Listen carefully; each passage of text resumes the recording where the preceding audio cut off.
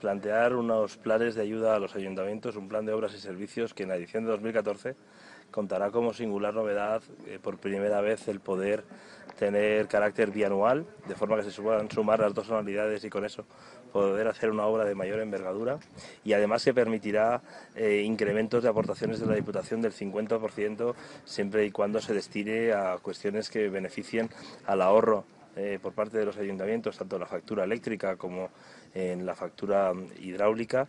como si se destinan a la legalización de, instalaciones en las que se unan una presencia multitudinaria de, personas y en las que pueda haber algún tipo de problema de, seguridad para, los asistentes. En definitiva, buscamos que los ayuntamientos tengan más disponibilidad, que puedan tener resuelto un problema de financiación y de ejecución de un proyecto importante en sus municipios y sobre todo con la clara consigna de ayudar a todos, a todos por igual, a todos los rincones de la provincia y conseguir con eso vertebrar el tejido del mundo rural de la provincia de Castellón.